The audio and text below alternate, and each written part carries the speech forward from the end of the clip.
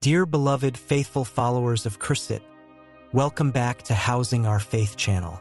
In the shadow of a rapidly changing world, the signs of the times are becoming increasingly clear.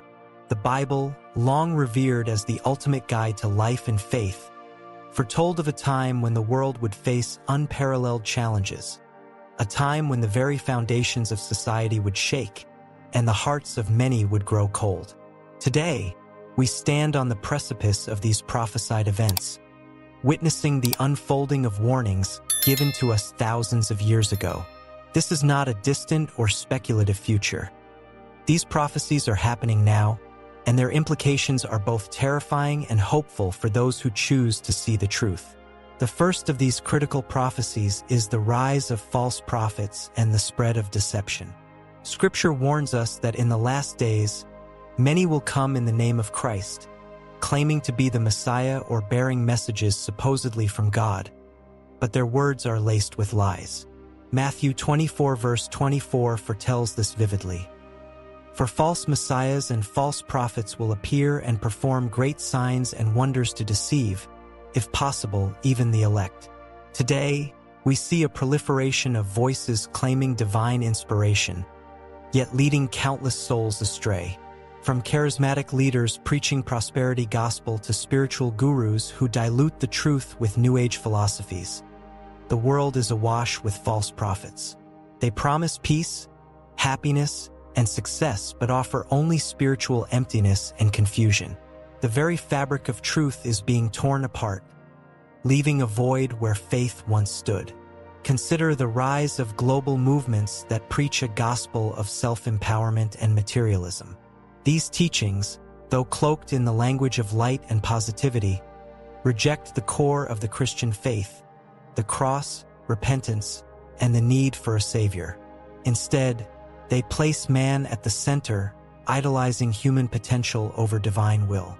This deception is subtle yet powerful, drawing millions into a spiritual dead end. The recent surge in occult practices disguised as wellness and self-care is another example. Practices once shunned as dangerous are now embraced as mainstream, leading many down a dark path far removed from God's truth. The second prophecy we're witnessing is the dramatic moral decline and widespread apostasy, where once strong believers turn away from the faith.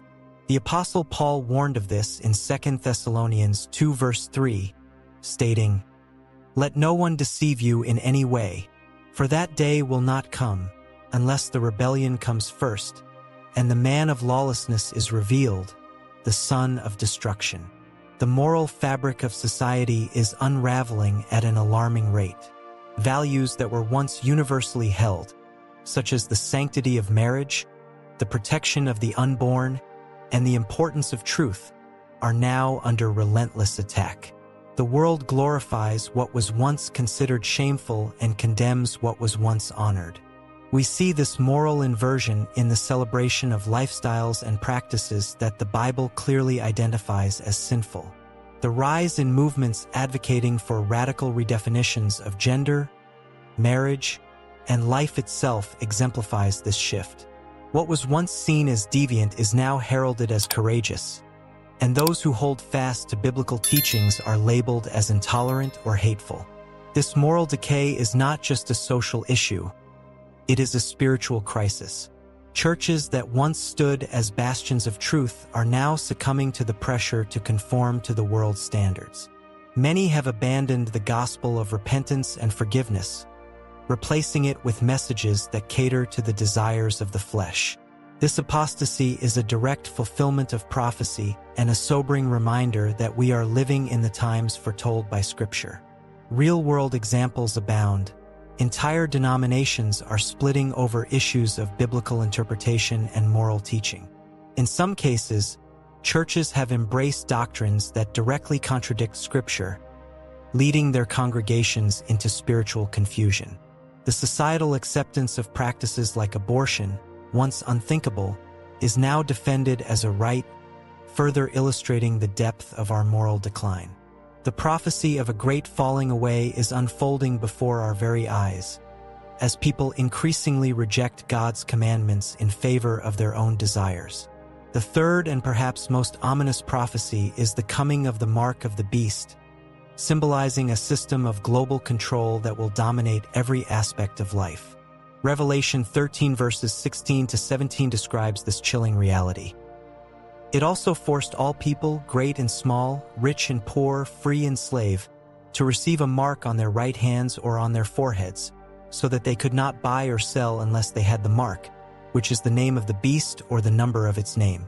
This prophecy speaks of a future where economic and social systems are so intertwined with a central authority that no one will be able to participate in the economy without allegiance to this power.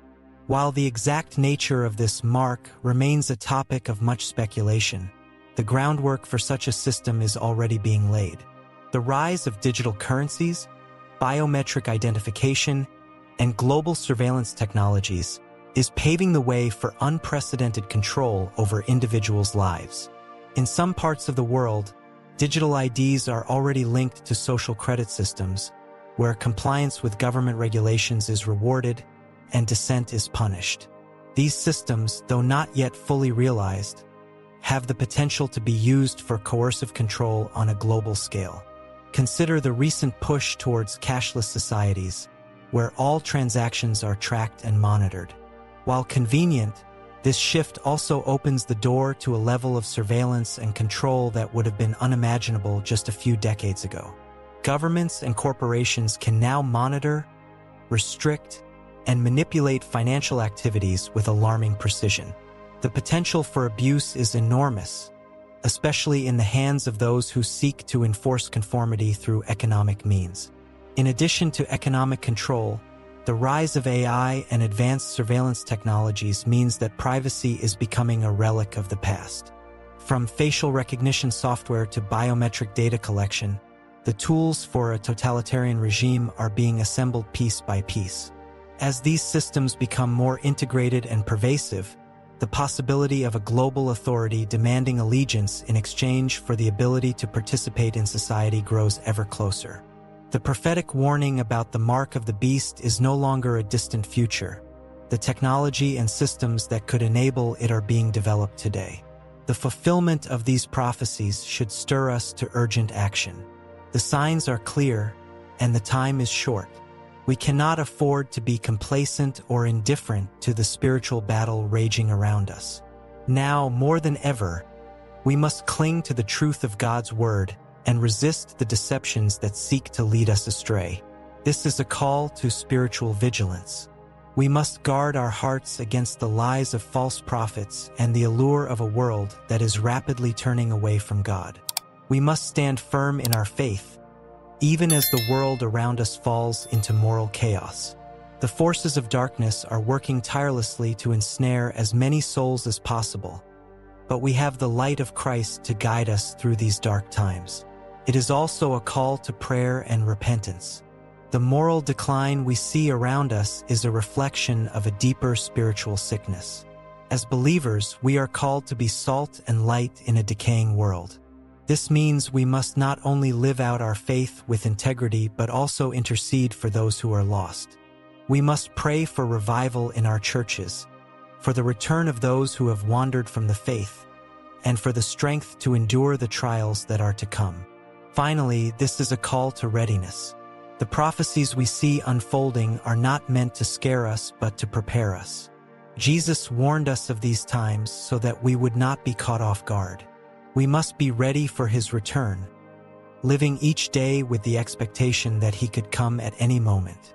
This means living holy lives, being faithful in our witness, and keeping our eyes fixed on the hope that is before us. The prophecies are happening now.